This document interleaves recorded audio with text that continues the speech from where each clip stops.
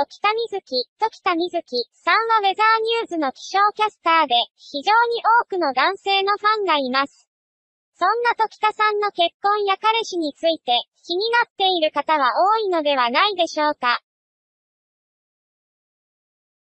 美人お天気キャスターのプライベートについて、調べてみました。時田水木のプロフィール、愛称、兄ちゃん、本名、時田水木、生年月日、1999年、平成11年12月29日。身長、170センチメートル。出身地、香川県。最終学歴、同志社大学心理学部心理学科卒業。所属事務所、ウェザーニューズ。牧事、時田水木に結婚や彼氏の情報はない。娘や息子はいないが出現で疑惑の過去。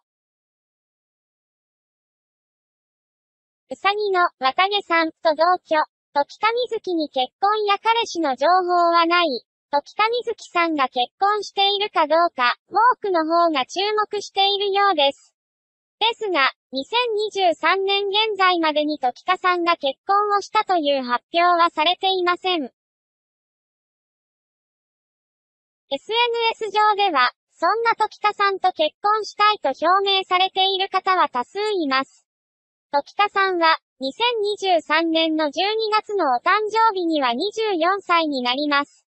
結婚をするというのは全然あり得る年齢なのですが、まだ気象キャスターとしてデビューして約2年しか経っていないので、積極的に結婚をしようとしているとは考えにくいと思われます。もちろん結婚にはタイミングもありますので、時田さんが、この人だ、と思った方と巡り合ったとすれば、20代前半での結婚もあり得ると思います。そんな時田さんですが、これまでに彼氏がいるといった熱愛を報じられたこともありません。これほど綺麗な女性ですから、これまで男性からのお誘いが一切なかったと考えるのは不自然でしょう。もちろん現在進行形で彼氏がいる可能性もありますが、お付き合いをしている方の存在は明らかになっていません。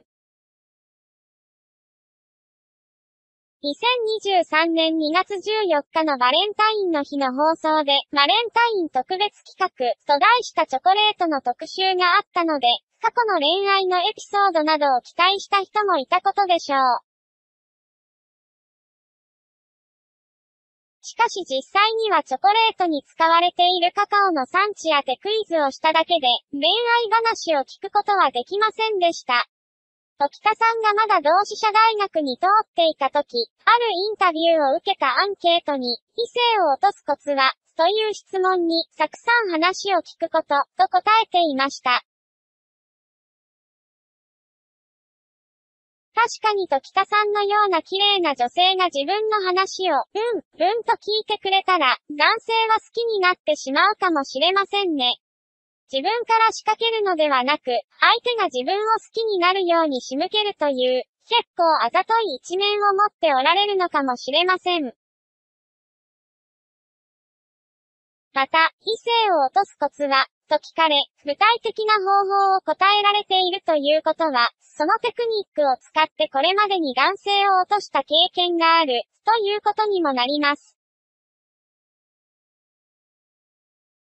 人気のある時田さんですので、むしろそうやって落とされてみたい、と考える男性は多数いらっしゃるでしょう。時田さんは、自身が担当している番組に視聴者からの恋愛に関する投稿があった際、恋は見つめ合うものですけど、愛は同じ方向を向くこと、という名言を残されています。様々な恋愛経験を積んできたからこそ、言える言葉かもしれませんね。時田さんが先でどんな男性と結ばれるのか、楽しみです。娘や息子はいないが出現で疑惑の過去。時田水木さんは以前、生放送中に、私も娘が二人いまして、とうっかり口を滑らせてしまい、視聴者が騒然としたことがありました。その時は視聴者から買っておいた大福を娘たちに食べられてしまったという投稿があり、そのメッセージを読んだ後に私も娘が二人いましてと言ってしまったという流れでした。時田さんは慌てて、違います、と訂正していましたが、番組を見ていた視聴者から、カミングアウト、と SNS で投稿され、カミングアウトではありません、とそれに対しても否定していました。時田さんには妹がおり、自分を妹を合わせてとホッケには娘が二人いる、というのを、私も娘が二人いる、と言い間違えてしまった、と弁明していました。もちろん年齢的なことを考えても、娘が二人いるというのは誰も信じていませんでした。天然らしいと北さんの失敗ですね。ただ、同じくウェザーニューズの人気キャスターだった武藤彩音さんが、番組内で弟を息子と言って息子説が流れ、数ヶ月後に既婚者と発覚した前例があります。そのため、時田さんのファンは少し心配してしまったかもしれません。いつか時田さんに娘さんか息子さんができたら、綺麗で優しいお母さんになられるでしょうね。うさぎの若毛さんと同居。時田水木さんは大学卒業後、うさぎを飼い始めたそうです。またげという名前で、毎日愛らしい姿に癒されているそうです。朝、仕事に行く準備をしている最中に足の周りをぴょんぴょんしていると、仕事に行かずに一緒に遊んでいたい気分になるという時田さん。ですが、綿毛さんのご飯代を稼ぐために頑張らなくちゃ。と、心を鬼にして綿毛さんに留守番をお願いしているそうです。非常に微笑ましいエピソードですね。これからも時田さんが綿毛さんに癒されているように、画面の向こうのファンの方々を癒し続けてあげてほしいですね。